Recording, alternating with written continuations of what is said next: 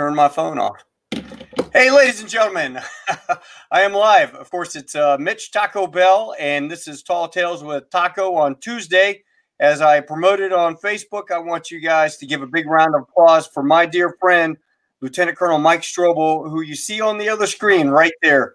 Mike is the Marine who took, um, well, he wrote "Taking Chance," but it started out as a as an email, and uh, Mike has over the years uh, given a lot of his time, dedicated a lot of his time traveling around giving speeches about it.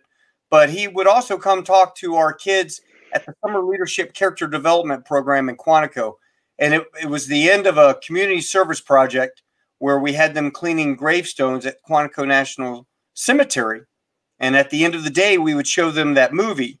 Well, after asking a few questions, I would just stop and I'd say, why don't we ask the actual officer uh, and invite him down. And Mike would walk down and answer questions for about a good hour, hour and a half. Mike, welcome aboard, and I can't uh, thank you enough for joining us tonight. How are you doing? Good, thanks. It's good to be here. It's hey, here in my in my basement. hey, at least the internet's working and uh, you're six yeah. feet above ground. Nobody's shooting at you, right? Yeah, good. Right, all's good. Well, hey, give us a little background on how Taking Chance started for those who have never seen the movie or read the email, which by the way went viral and was on my my government laptop I had to turn in years ago, and I regret that uh, that was one of them I I didn't save, and it, it ticks me off. But that thing went viral before viral was even a term.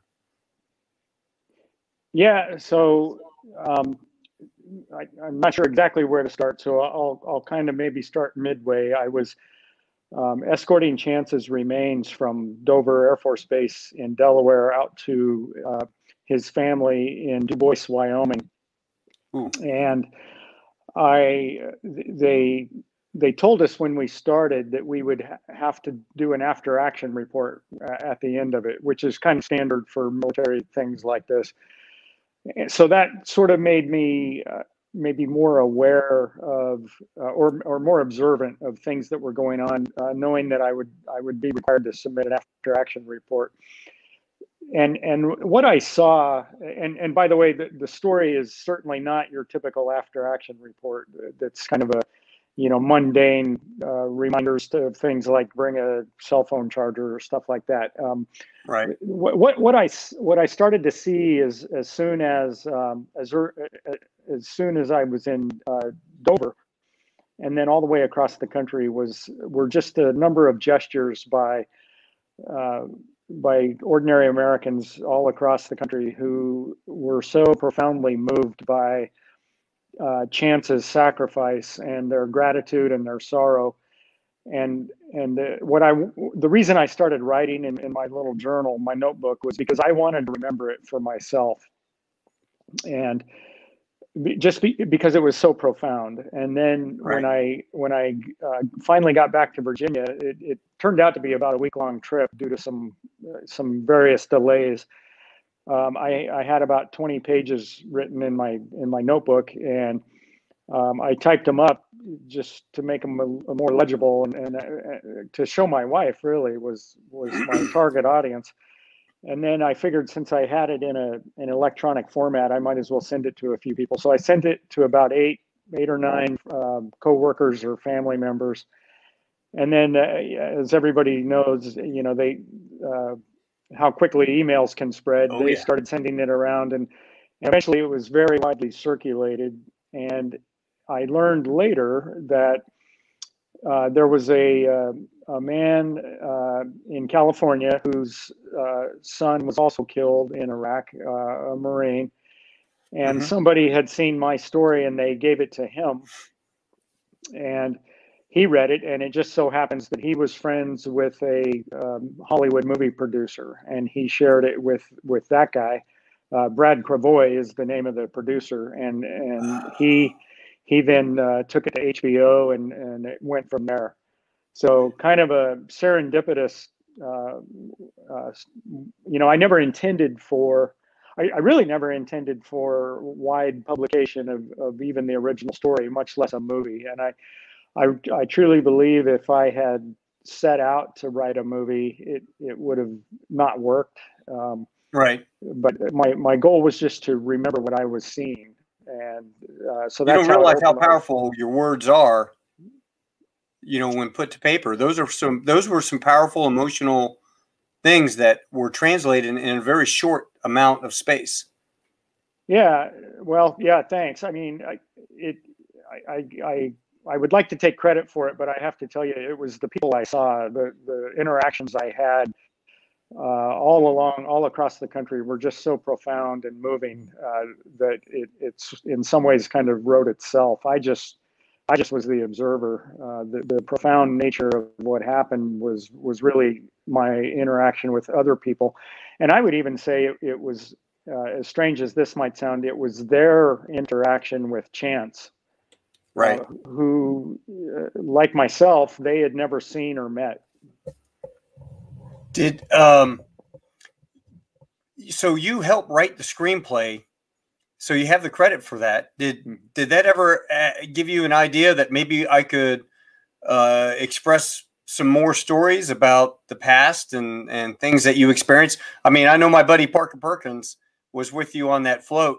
You know, he he goes, man, there are some great stories. We just need to sit down and write them. You know, did that ever Yeah. get you to put pen to paper on stuff? Um, uh, I well, it's interesting. I've kept a journal um, three times in my life, uh, kind of uh, other than some sporadic, you know, one-off events uh, or, or assignments that I had to do, but uh, voluntarily.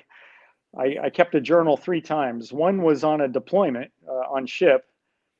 Uh, nothing dramatic. I, it was just an interesting uh, thing to be doing. Uh, you know, I, I- we were uh, on a Western Pacific uh, deployment and visited. Uh, I don't even remember how many countries. And you know, for a kid from Western Colorado, it was it was something I wanted to remember. The other was uh, Desert Storm. I, I kept a journal during that because um, I I thought it might be kind of a profound event in my life. Um, and then and then the third was uh, my experience with Chance. Um, I haven't really thought about um, screenplay uh, or uh, any other kind of story, um, but I, I, you know, I would tell people. Um, I, I, I have written like I, I did a monthly op-ed for a local newspaper, that sort of thing, but but nothing of a, that kind of length. But I, I would tell people, I, I think everybody has an interesting story to tell, and if if that's something they want to do, I, I really would encourage them to to you know go for it. You you'd be surprised what interests other people. I'm kind of uh, lately I'm I'm into reading biographies, and some of them are it's just hearing stories of other people's day to day lives can be very interesting. Right. Well, Paula uh, Quick had a question. What surprised you most about the process? Uh, that whole whole process from A to Z. Was there anything that kind of surprised you, took you back? Like I didn't expect that.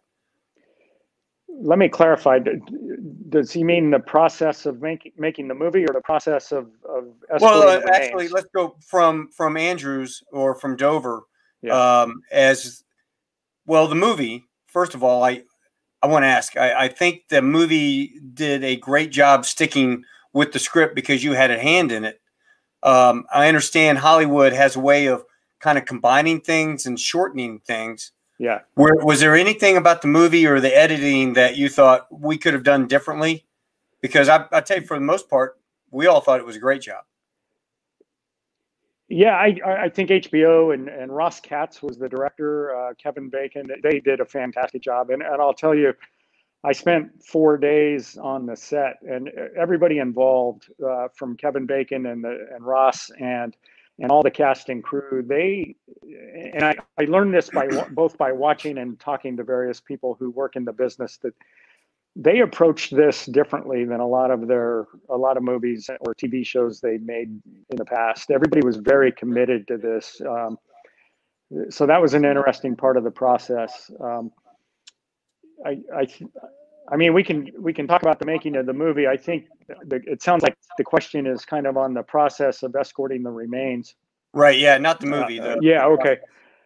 Um, that's a good question. Nobody's ever asked me that, and and I I, I do have to caveat it. It's been it's been a number of years now, um, but here's some thoughts that come come quickly to mind about the process. One one is that a a casket is is very large, and the logistics of moving a casket across the country um, is it's really no small feat, especially when um, when you are so invested and concerned about getting it there safely and with honor and respect. Um, yeah. So that that part of the process kind of uh, I, I, remember the first time I, I saw that it wasn't even I should clarify the the casket in a shipping container, which just adds more volume to the whole um, you know to the to everything and and it it was it it took me aback a little bit of how large it was. Um,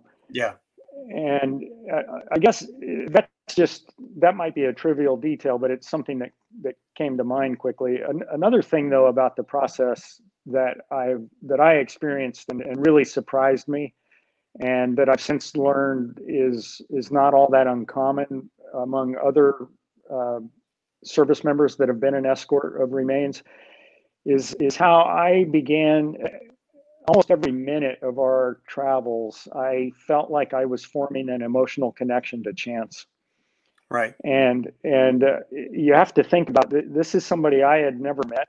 Um, yet uh, I, I I think this might resonate especially with Marines, but with all service members. You know, even though I never met him, just by virtue of him being a Marine, there were things I knew about him Oh yeah. And and things I probably knew about him that you know his own family didn't know. Um, and it, there's that that connection uh, that that Marines have, and I think all service members have. But I I didn't expect. Uh, as part of the process of, of traveling across the country, I didn't expect to become so emotionally um, attached to somebody I'd never met. So when you uh, let's walk through? So you went from Andrews, uh, BWI. No, it, well, Dover. Um, the, so we drove from Dover to Philadelphia, which at at that time was was um, if if remains were flying anywhere, they started at Philadelphia. Gotcha. And and now let me before we before I re, recount every stop of my trip, I would point out that uh, since my uh, mission with Chance, the Department of Defense has changed the process in a few ways. One of which is now remains fly on a dedicated aircraft, kind of a, an executive. Uh, you might know more than I do, but like a Learjet style, where it's just the remains and the escort. Uh, that's, oh, really? Because um, we yeah. still, yeah, American, we still we have remains come through, and oh, we have a we have an honor team at DFW. Uh, at, okay they go out there and they the honor guard and they they pull the remains off and uh, it's a yeah. really top notch job that our guys do. Uh, Glenn okay. Williams and, and all his folks yeah, over there. Great. So so for military they they do that. Yes. Okay. Well, I, I guess I should be careful. My, my information might be dated by quite a few years. There there was a time, and, and maybe it wasn't. Maybe they either stopped doing it or it was only for certain occasions, uh, depending on the destination, perhaps but for a while they were flying on a dedicated uh, aircraft. But be, be that as it may, uh, I flew on commercial flights. Um, so we started in Philadelphia, and then uh, from there we flew to Minneapolis. And one thing that was a little unusual with my mission, uh, I think mainly because we got a late start out of Dover on the day we left, is I had an overnight stay in Minneapolis. Mm-hmm. And, and, then we flew to uh, Billings, Montana, and mm. uh, and then I, I, was met there by a uh, by the funeral home, uh, and we drove about five hours from there to Riverton, Wyoming, where the funeral home was. And then actually, the funeral was in um, Dubois, which is yet another 90 miles away. So, oh wow, it, it, it was a lot of uh, mixture of you know flights and and some long drives. Yeah, because you're from Grand Junction, right? Right. Goes yeah, and, and then he enlisted in that town next to Grand Junction. Right. Yeah, Clifton, Colorado is uh, so. So he was a senior in high school when he enlisted.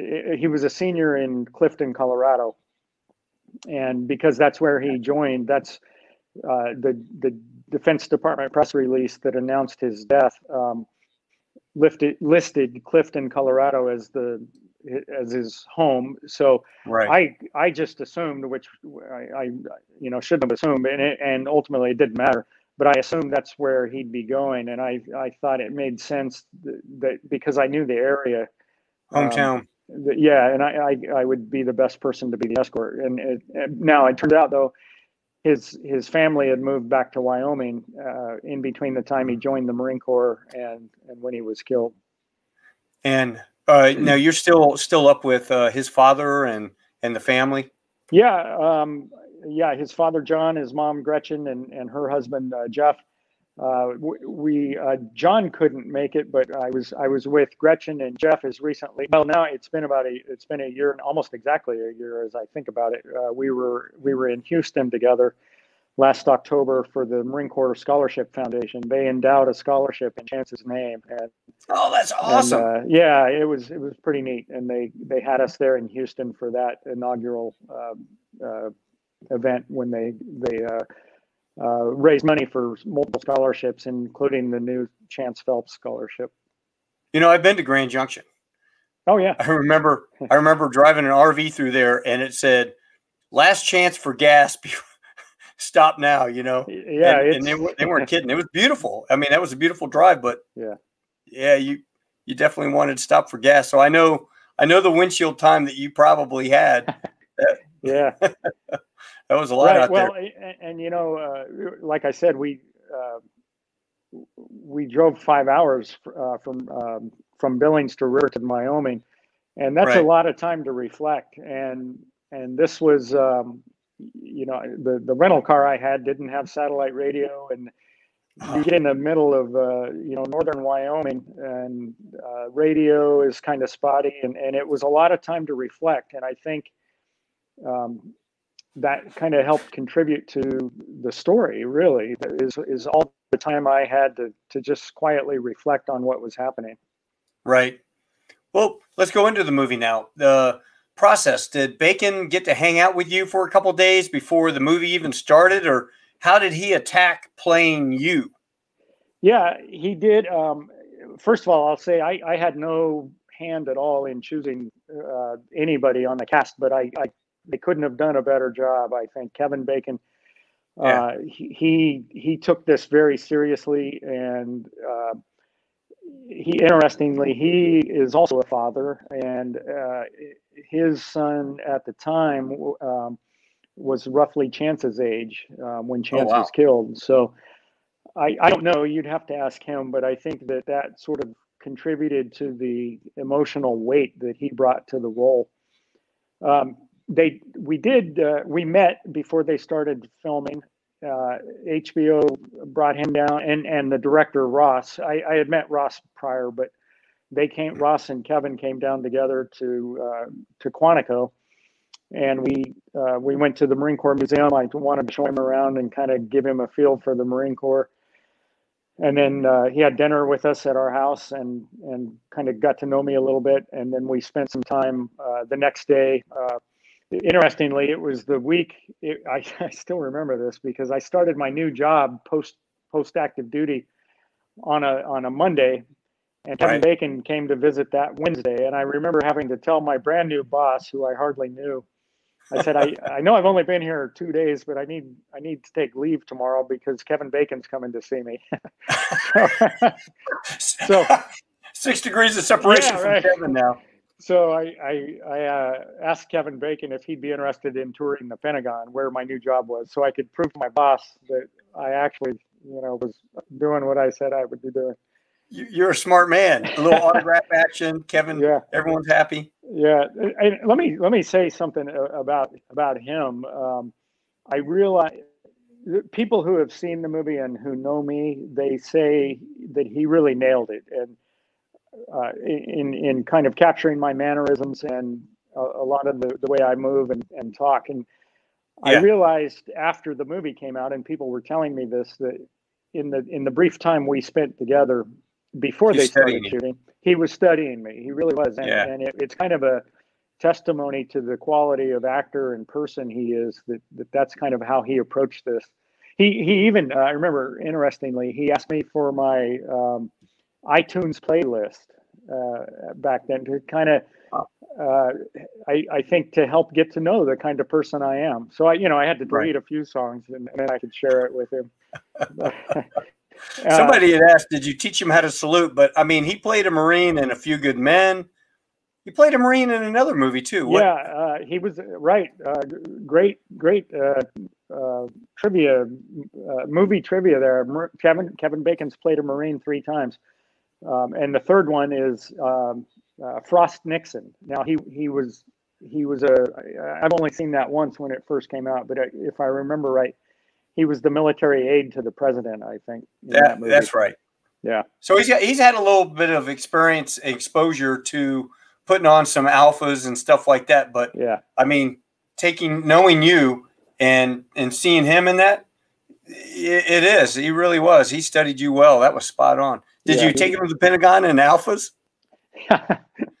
no, it, you know it, it's it's funny walking around with a, a star like that. Um, it, it's like you become invisible because everybody everybody is so you know like I, I remember people as we were walking through the hallways of the pentagon they're, they're you could almost see what's going through their head is like that kind of looks like kevin bacon and then and then they get you know right abreast to him and, and realize it actually was and and some would some would ask for an autograph or stop him or or some would whisper to their friend or something and, i was right. just totally invisible yeah hey you know what that can be a good thing i think yeah, you know Kevin, Kevin, I remember watching Kevin Bacon on on a BBC show, and he was talking about he put on a, a disguise and he walked through some high vis mall in L.A.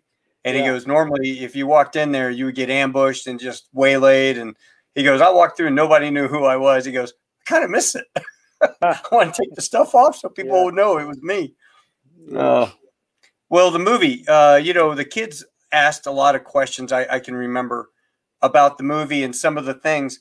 What were some of the things that they had combined uh, for brevity or to uh, do the ups and downs? You remember we were talking about that uh, in terms yeah. of like the flight attendant giving you the uh, St. Christopher medal or yeah, giving you the medal.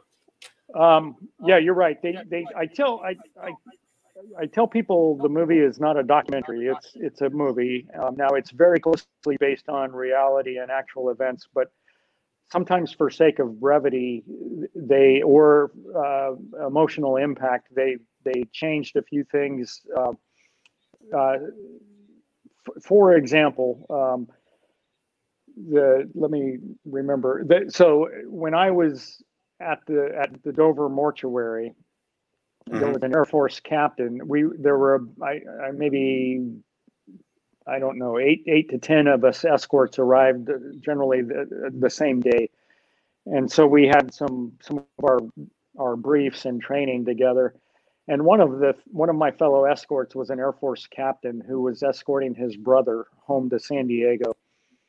And oh. that yeah, that really struck me as as emotional as it was for me escorting a stranger. Uh, yeah, I, I could not imagine escorting your your brother.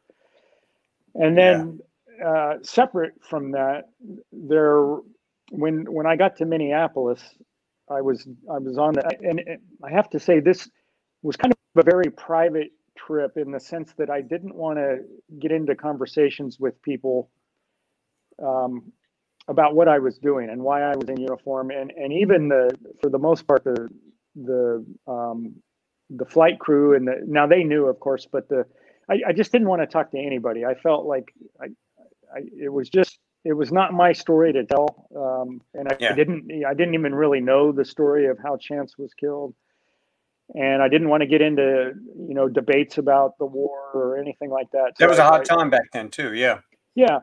So with, with that as the as the setting um, when i got to minneapolis I was on the tarmac watching the unloading of, of Chance's remains, and the next um, gate over was an, another flight that had a uh, an army sergeant who was also a, a, fellow escort escorting remains, and it it was it was very interesting to me it, it was profound to, to run into a fellow escort and and to kind of have that connection and somebody I felt like I could instantly like we both knew what each other was going through, uh, and and nobody else could possibly know.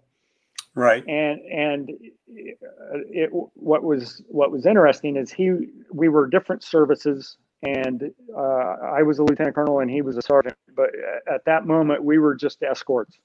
Yeah. And and that was such a bigger mission, and it, it really struck me. And so, to, a roundabout way to answer your question, in the movie they combined, they made it so that that sergeant was escorting his brother. And I, I don't begrudge them at all for, for taking that license, the I guess you'd call it literary license to right to sort of change what actually happened because it it told two stories in in one character for the kind of for the sake of brevity. Um, you know, the, the story of the of a an escort escorting his brother, and then the story of a, a Marine lieutenant colonel and an Army sergeant uh, kind of relying on each other, if if ever so briefly. Yeah, I could see that too. I mean, that would be that's I'm sure it's happened. Yeah, I could see him doing that though. Yeah. Um, the one thing that stuck out in my mind when I watched the movie years ago, uh, having go through the transition of uh, rent a homeless dude to watch a X-ray machine to the creation of TSA and and the way that they treated us, even as crew going through. When I saw you go through in your alphas, and he goes, you know, take your jacket off, take this, do that, and and his reply was, "I will not denigrate this uniform. Uh, take me to a private screening room. You know, yeah. that hit me because those guys at that time were really, really tough and and not yeah. and overbearing and, is a good word. Um, I won't say the other word, but somewhat jerks, I, I would say. But um, having been through wearing my uniform and then they they want me to take everything off, I I, I totally been there with you. That yeah. uh, that was crazy. Yeah, I, I, mean, Marines are kind of finicky about their uniforms to start with, uh, and I, on that mission, uh, I did not. I, I kind of, you know, I didn't want to start taking off the jacket, which which changes the it changes the uniform really, and and I thought I, you know, people don't need to to watch uh, a Marine uh, take apart the uniform in public view. And if and I understand that you know whether it was um, over the top security, you know, you know, whatever it was their policy, but but I, I didn't require um, that we do that out of view of, of the general public. Well, you can imagine with the metal detector going down your legs and hitting the yeah. shirt stays. beep, yeah. beep. What, what's that? Beep, beep, beep, beep, beep. shirt stays, man. What are shirt stays? Yeah. I don't know. You know. Yeah. Uh, explain that. Yeah, yeah, yeah. Or or the part where you're sitting next to the girl and she's texting. She's like, "Well, I'm sitting next to a hot soldier," and you lean over and you're like, "Marine." Well, let me. I'm glad you brought that up because I like to. I like to point out. I one, I did not write that scene. Um, it, it's kind of embarrassing and and two, I, I, will flat out say that did not happen. But I, I want to explain uh, some of the, the, the reason the director included that in the movie. Uh, sure. It, it it is kind of a almost everybody I think who's seen that scene they they they get a little laugh out of it. Um, and it is. Uh, it's funny. I mean, yeah, as a and, Marine, it's funny. And, We're not and, and I, yeah, I, I asked the director, I said, you know, why did you do that? That didn't happen. And he said, he said, in a movie or a story like that, you have to give the audience a minute to catch their breath. Right. You you kind of need to let them laugh for a second, and, sure, and and catch their breath, and then you go on. And so that was the motivation behind that. Well, um, I've got a, a couple friends that are writing comments as we're speaking, and um, Yano said. Uh, he was tasked uh, he was tasked with escorting uh, a squadron mate who was killed in action. Mm-hmm. So much of what he read and saw from you influenced how he did his job. So even to this day, you know, you're you're helping our Marines and you're helping others that get put in that position, um, which is not an easy position at all. Yeah, yeah, it's, yeah. it's hard. Well, after all these years, I mean, how long has it been? Uh, when did it come out? In 2000 and well, um, Chance Chance was killed in 2004, and the movie uh, debuted in 2009. 2009. A lot had changed. I mean, when you think about it, they had uh, the deaths of every soldier, Marine in the USA Today the, through the entire time President Bush was in office. And then as soon as he left office, you never heard about it again. It was almost, you know, we joked uh, forgotten war. Hmm. Um, I mean, when I went over to Afghanistan in 2008, you never heard about anything. So I'm thinking that was actually probably a really uh, good time for the movie to come out. It's affected so many people at that time uh, with the losses that we did have. They would understand it, you know. And a friend of mine that worked out in Hollywood told me, well, they're not making movies about the war unless it has aliens. I'm like, what? Yeah, yeah. And then sure enough, Battlefield LA or whatever came came yeah. out with Marines going up against aliens. I'm like, why can't you do something good about you know our guys and our mission over overseas? Yeah. So, well, kind of on on that point of it, things being forgotten, I, I, w- I would point out um, Defense Secretary Robert Gates, he mentioned in his book uh, Duty, uh, and this was after the Bush administration when Gates was secretary, that uh, he uh, he saw the movie and he changed the policy. And uh, if the family agreed, uh, news media were allowed to cover the dignified transfers at Dover, and also. Um, and I don't know if this was directly due to the movie, but um, also at the same time, they um, the Defense Department uh, created um, uh, I, I, don't know what the right word is, like a uh, allowance to uh, bring in families at government expense if the family wanted to be there for the dignified transfer. So not not every family did, and, and not every family uh, wanted media coverage, but if, if there was some change, and I, and I personally, I mean, I, I, I can understand if uh, people have a different view, but I think uh, that was good to bring transparency to the costs that uh, we paid and, and, and the, the visceral cost that, that's visible at Dover when you see a dignified transfer. Yeah, that is an incredible duty that those folks do. Uh, I worked with the with the guys over as the air boss when I was in TQ. We had a, a center for the remains, and then of course, then we would take them out and put them on our Angel flights C-130s mm-hmm. out and load them and it would be an empty airplane with with one body yeah. or you know how many bodies they yeah. had uh, at the time it was kind of a 05 was was a bad time we did um oh master sergeant he was a eod um had dinner with him like um, um angus master sergeant angus two nights before he died hmm. and then he got blown up and uh, they called me up and said hey instead of doing the transfer down at the uh, Air Force area, could we do it at the VIP section? So I called up uh, Chief of Staff and um, uh, General Whistler was the boss, and I called up the Chief of Staff and asked, could we use that area? And they said yes, no problem. So 300 Marines were lined up from MWSS, uh, lined up all the way from the tail of the airplane uh, to the front. So hmm. as his casket was brought out, 300 salutes, slowly going up and down. And then we we put his body on the C-130, and he was the only um, transport on that airplane. Uh, mm, wow. So I got to say that when you do pass, there is a lot of stuff that people don't realize happens, and yeah. and that was just on the sandbox side. So I could imagine the reception he got when he got back to Dover, and uh, man, God God bless you for what you did because that's uh, yeah, that's tough duty, brother. Yeah, thank you. Well, well it, I mean, it it, it was uh, it was kind of weighty, but it was such an honor, and it, it's um, something I'm I'm very proud that I was able to contribute to getting him home. Well, you know what? That's going to last forever. Yeah. I mean, when you think about it, your your name and and what you did is on film. It's kind of like it's kind of like uh, R.V. Burgin when he's an older gentleman. He, he was uh, E.B. Sledge's platoon sergeant, you know, oh, who yeah, wrote okay. with the old breed. Yeah. And RV lived down the road here about, I don't know, 45 minutes, hour away.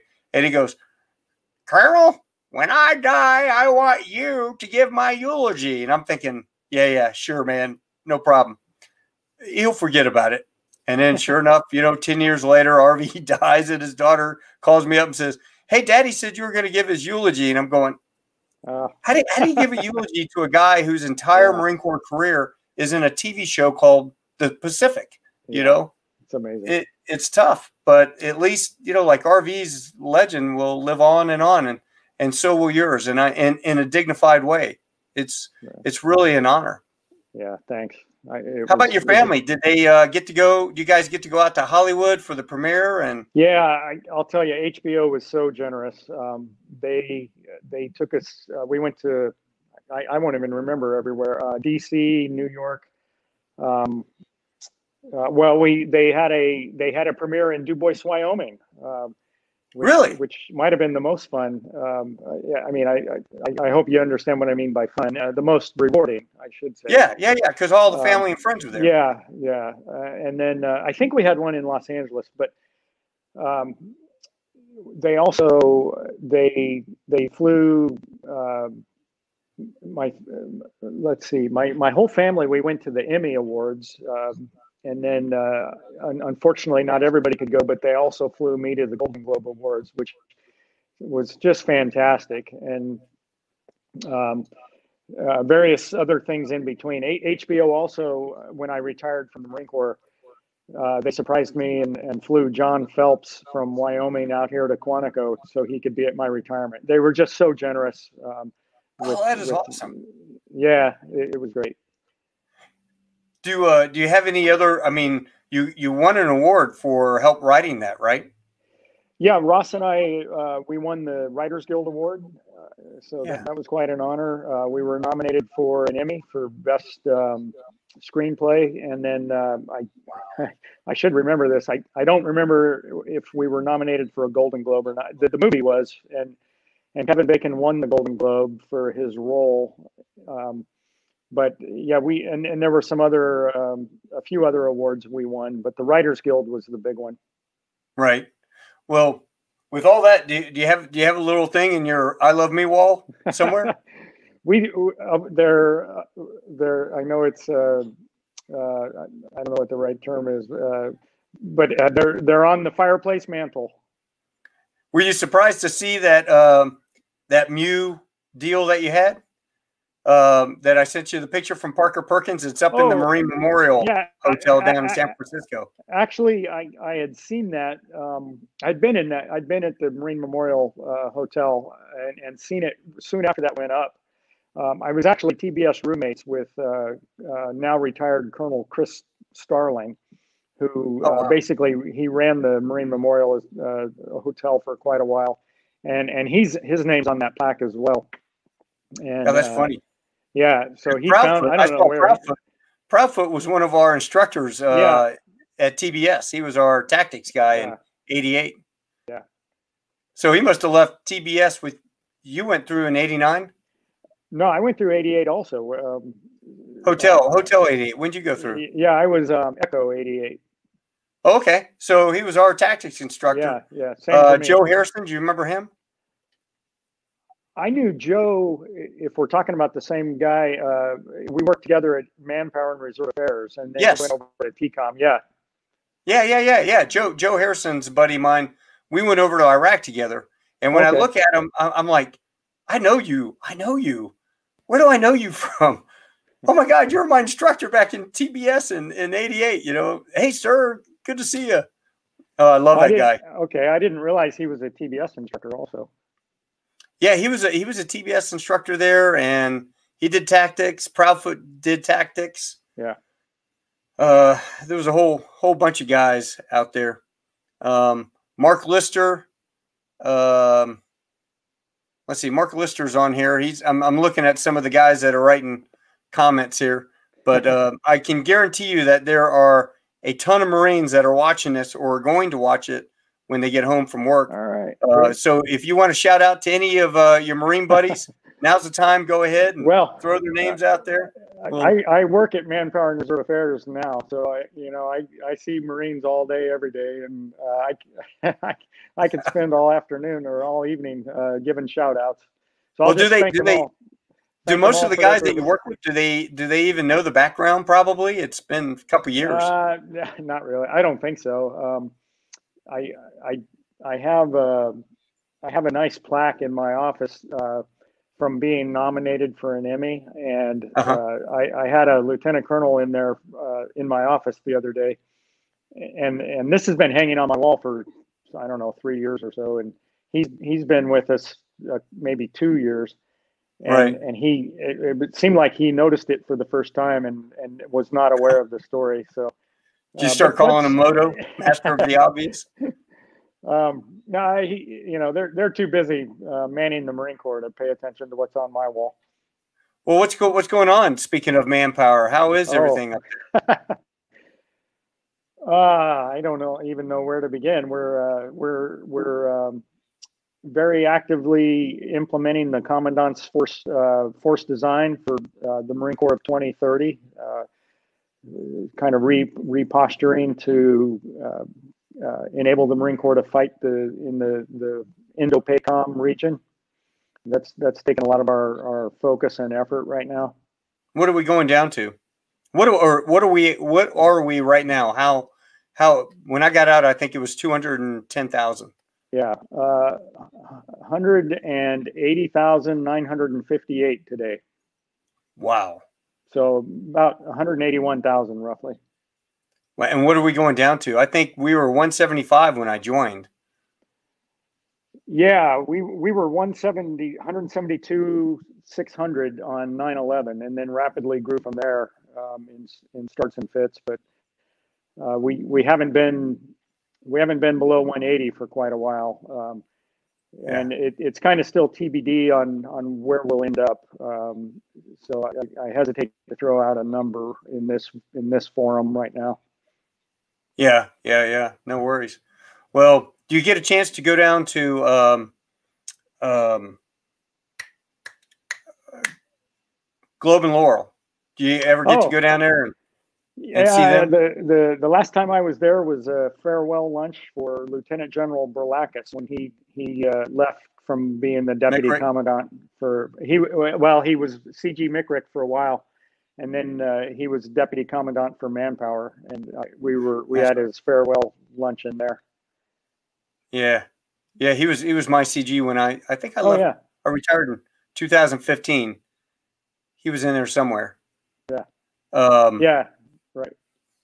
Who who's the CG in there uh, right now? Uh, MCRIC. It's, yeah. Uh, Major Major General Jason Bohm. Oh, I don't know him. Yeah, that just means we're getting old, and all the young guys are uh, all the young yeah. guys are, are are shooting up there, aren't they? kind of crazy. Yeah, they are. Well, Mike, I, I can't thank you enough. And hey, uh, do you? Uh, somebody asked, do you have a brother named Mark? I do. So uh, a couple guys went to TBS with Mark. Yeah. Okay. Did he yeah, go at the same time as you? Like, uh, well, I was I was on staff at TBS then that would have been about 93 uh, give or take.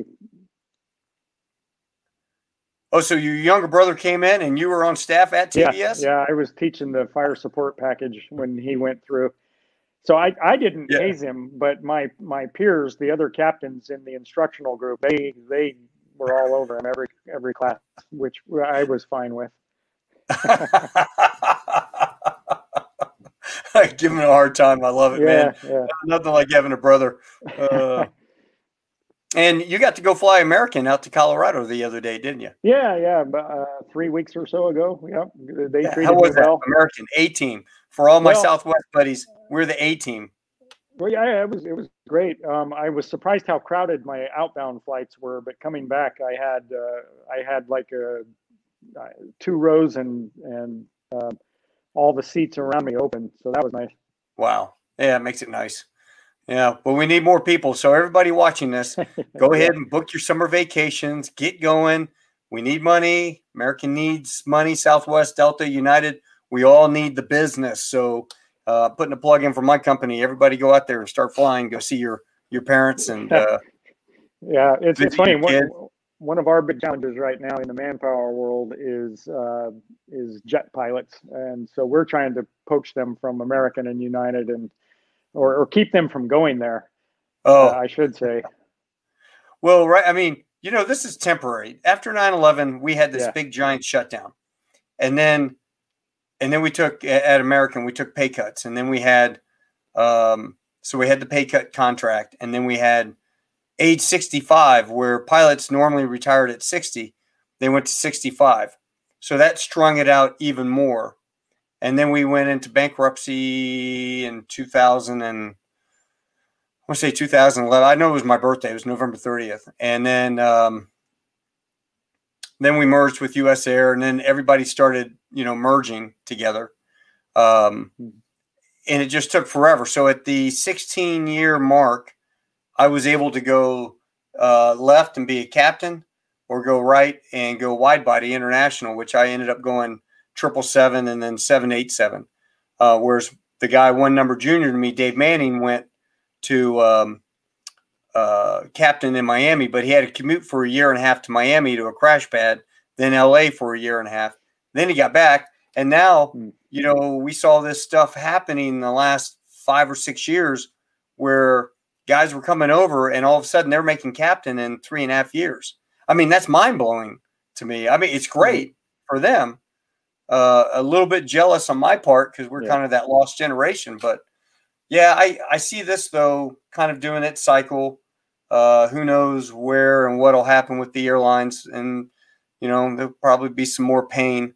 But as soon as the vaccine or November third, whichever comes first, um, something happens, then people are going to forget about it and they're going to move on to the next big thing, and COVID will be a distant distant memory. I pray that Yeah, we don't have to wear masks. You guys have to wear masks up there at Manpower. Yeah, when when when we're anywhere away from our own desk, yeah. Uh, so at least in your office, you're able to, to take the mask off. Yeah, I'm I'm lucky to have a, a nice office. I can take the mask off because it's a long day when you if you wear a mask uh, Yeah. hours on end. Yeah. Well, I've got a uh, a very famous F-18 guy named uh, Dwight Smith. They call him Chugger. Oh yeah. and Chugger's asking if uh, there's any room for old colonels to come back in. You take any of the old guys, especially ones that fought Godzilla and fought uh, aliens in Yeah. that Will Smith movie. Is he commenting right now? He is. Well, okay. I I don't know if he's told you the story, but he and I uh, were childhood friends. Uh, went to uh, hey hey Dwight, how you doing? Hey, Uh, we- hey, we Dwight, went- if uh, you're watching it, yeah, he's on there. He just commented just a minute ago. Um, we we yeah, went to uh, we We're went to more basketball games. Yeah, Knowing, Dwight's pretty knowing good. Dwight, knowing Dwight, he probably sold you a, a refrigerator, you know, brand new refrigerator to an Eskimo. You know, that's the type guy he is. yeah, I got a story know- about he can he can Yeah. talk. That's for sure.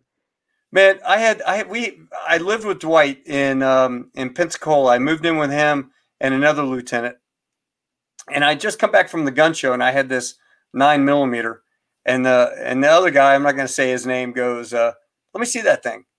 So I strip it. Here you go. Hand it to him. He takes a round and he sticks it in the in there and he closes it. He walks out and he goes boom and he sh- shoots it off out of my apartment. Of course, the reverb is super loud. Cops come. Dwight goes out there to the police officer and goes, um, "Hey, officer, there were some kids with M80s and they ran through the woods o- over there." I mean, Dwight. Dwight's very smooth. He's telling me to be quiet. yeah. Yes. All right. Sorry, Dwight. Uh, Oh man. You, do you have any other? Uh, do you know any C-130 guys went through Echo with you? uh, um, I don't remember. No, I, I, I can't remember. At- At least not from my platoon. Yeah. Yeah, Yeah, you were there. Um, so we were at TBS together then. Yeah. '88. yeah. Damn, good times, brother.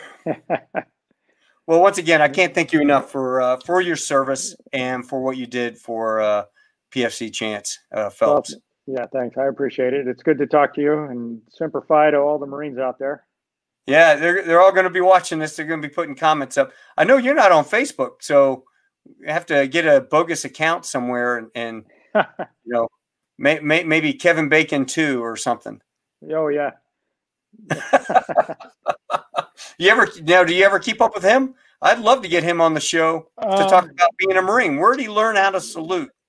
Yeah, well, I, I don't know. Um, like I said, he he took the role very seriously, but there were also. Uh, uh, in, in, addition to my uh, sporadic attendance on the movie set, there was a full-time uh, gunnery sergeant and a oh, master oh, sergeant. Yeah, uh, Vic was the master sergeant. And, oh, uh, yeah. Um, the the gunny's name escapes me at the moment, but uh, so they, you know, they had good staff NCO leadership there on set the whole time. Oh, good. Make sure his uniform looked good and the whole yeah. nine yards. Yeah, yeah I, I, went out to Vegas with uh, Vic on a salute to troops, oh, salute oh, yeah. to the troops, and and that's how we met. And and it happened to be that year I was the the poster boy in the American Way magazine. So when you opened up the American Way, there was Mitch Bell, and it was a little article about me and all that. So people were, "Hey man, would you autograph my my thing?" And then the big thing on Facebook was everybody would take a picture of this stupid thing, and uh, you know, "Hey, I'm flying with Mitch." and they post it. You know, so that's great. I got a lot of a lot of rasm for that. That was kind of fun though. Well, if you're ever back down here in Texas, uh, let me know so that we can take you out and go ride in the armor and uh, scare some of the, the Californians that have moved into Texas. Let them know that open carry is alive and well. You know. okay. Well, hey, listen. Tell your wife thanks for uh, letting us pull you away from uh, the yard work, and I certainly do appreciate brother. Um, the COVID shut down SLCDA this year, but if yeah. they uh, they bring it back up next year, or, or, would you be able to do it, or yeah, come back if, out? If, if it fits with the calendar, yeah, I enjoy going out there and doing that. Good. Well, thanks so much. I appreciate all the help you did when we first kicked that program off. Yeah, a lot yeah, of kids were, you know, when I looked, I meant to tell you when I looked through the critiques, a lot of the kids, not only through the interaction with the staff, but your final deal was right before the graduation, right? And there were kids going, I was thinking about going into the Navy, or I was thinking about going to West Point. I got an offer to go to the Air Force Academy. And they were writing, I want to be a Marine because mm-hmm. of Lieutenant Colonel Strobl and the men like him. So your your impact uh, via through uh, film, uh, real life events, but through the film, and then meeting them in person, taking the time to meet them in person, and answer their mm-hmm. questions. Those kids were just floored. And uh, there are there are kids that are on Facebook right now uh, who are now lieutenants um, out in the fleet, you know, and they're at yeah. TBS. Yeah. So it's kind of it's kind of a neat deal, you know. Us old guys retire and yeah. and we're getting that young blood coming in, but we're getting the right guys and gals, yeah. you know. We're getting strong moral convictions. Mm-hmm. So I really loved it. I mean, that was one of the parts of the whole SLCDA Summer Leadership Character Development Academy was it has to be ethics, character development, or leadership. And what what you know, driving an LAV around, what part of those three tenets does that achieve?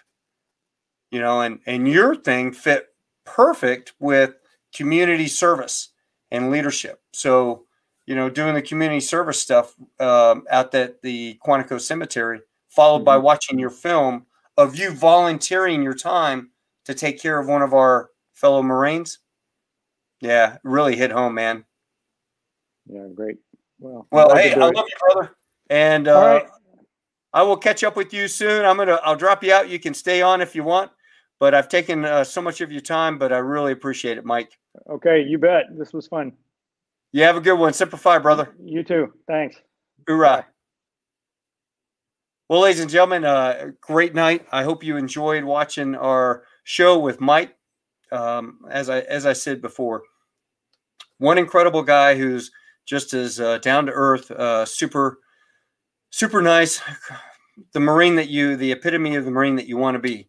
That officer is the guy that I want to be like. You know, so I hope you all have a wonderful Tuesday. I had my tacos today with two margaritas. It was a wonderful lunch. Uh, you guys need to do it too. And uh, Kelly, I forgot what your question was. Let me look. Uh, thanks, Dwight. Let me look up what did Kelly ask. Kelly asked something, and I totally forgot what it was. It was Kelly, Kelly, Kelly, Kelly. Where are you, Kelly? You did. You had something good, and I can't remember what it was. Uh, did Kevin? Oh, yeah. Hey, that was answered, Kelly. So uh, we have a, a, guy named Vic. Well, I'll get Vic on. As a matter of fact, he's uh, he's retired now. He was the uh, technician on set for the film. I totally forgot about that. And Teresa and I sat with him and uh, and his girlfriend when we went out to Vegas for Salute to the Troops. So I could imagine that a gunny or master sergeant probably did a really awesome job uh, keeping him in line. Um, Jeff, Nick, thank you very much. John, Paula, Dwight, Charlie, great seeing you guys on here. Let's see if there if I missed any other questions. Um, Stephanie, yes, I am going to do a special on you. Your story is going to come on here, and I hope uh, we can get you on here soon. And I've got my purple fox coin back here behind me. It's actually, uh, it's back here. I'll have to pull it out for you for the show. Uh, Mark Lister, great. Thank you for coming on. Crystal Moore, you guys are awesome. Dwight, great seeing you on here, brother. You all have an awesome night, and we'll see you uh, next week. Um, I have uh, Leroy Petry, who is Medal of Honor recipient, and he's going to come on and talk to us about uh, his time since um, the 9/11, uh, since everything and, and the war in Afghanistan, and when he received the medal. So look forward to having you guys next Tuesday, the 28th. And I believe it's going to be in the afternoon. Or maybe, no, I think it's going to be at 10 in the morning. I'll have to check my calendar with Leroy, but uh, we'll have him on. And I hope you guys can join us then. Scott Casey, good seeing you, brother. I would love to have you on so that we can talk about uh, everything going on with uh, recruiting in the old days. And Mark Lister, am I going to the tap in on the 10th? You know what? My schedule hasn't come out for November uh, yet as a check airman. It usually comes out like the 27th or 28th of the month. Um, but if it is, with the COVID going on, I'm sure there's no balls anywhere. This year, I will come. Promise. All right, brother. You guys have a good one. Everyone, take care, and I will see you guys next Tuesday. Until that time, semper fi. Remember, wherever you go, there you are, and we're going to have a good time. Stay, uh, stay alive, folks, and go out and vote. Vote often. Vote early. Vote numerous times. No, I'm just teasing. That's not allowed. Just vote once, but vote in person. It wasn't a big deal. Wear a mask. You wear a mask, go to Home Depot or Kroger. So go ahead and vote, and uh, we'll see you guys after the election. Hoorah. Take care now.